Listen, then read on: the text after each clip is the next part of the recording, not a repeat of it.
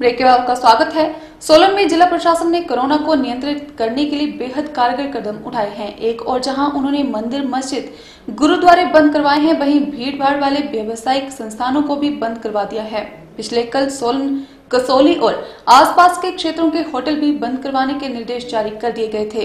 ये सब निर्णय इसलिए लिए जा रहे हैं ताकि कोरोना किसी भी हालत में हिमाचल में प्रवेश न कर पाए। ये निर्णय तभी ठीक साबित हो पाएँगे अगर प्रदेश की जनता इन निर्णयों का स्वागत करते हुए उन पर अमल करेगी और घरों से कम से कम बाहर निकलेगी। सोलन में जिला प्रशासन ने कोरोना को नियंत्रित करने के लिए बेहद कारगर कदम उठाए हैं। एक और जहाँ उन्होंने मंदिर, मस्जिद, गुरुद्वारे बंद करवाए हैं, वहीं भीड़ भाड़ वाले व्यवसायिक संस्थानों को भी बंद करवा दिया है। पिछले कल सोलन, कसौली और आसपास के क्षेत्रों के होटल भी बंद करवाने के निर्देश जारी कर दिए गए थे। ये सब निर्णय इसलिए लिए जा रहे हैं ताकि कोरोना किसी भी हालत में हिमाचल में प्रवेश न कर पाए।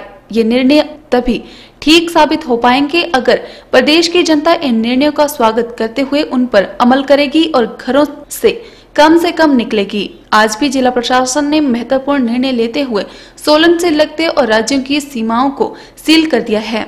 इस बारे में अधिक जानकारी देते हुए अतिरिक्त पुलिस अधीक्षक शिव कुमार ने बताया कि प्रदेश सरकार के आदेश पर सोलन से लगती अन्य राज्यों की सीमाओं को पूरी तरह से सील कर दिया गया है, जिसके चलते किसी भी पर्यटक को हिमाचल में प्रवेश नहीं दिया जा रहा है। उन्होंने बताया कि ये निर्णय कोरोना के चलते लिया गया है ताकि कोई भी कोरोना पीड़ित हिमाचल में प्रवेश न कर सके।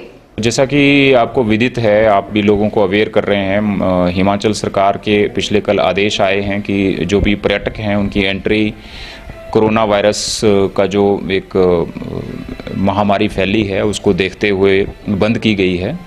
तो इसको इम्प्लीमेंट करने के लिए, क्योंकि पुलिस डिपार्टमेंट प्राइमरी एजेंसी है तो हमने जो भी बॉर्डर्स हैं नेबरिंग स्टेट के साथ, उसको सील कर दिया है।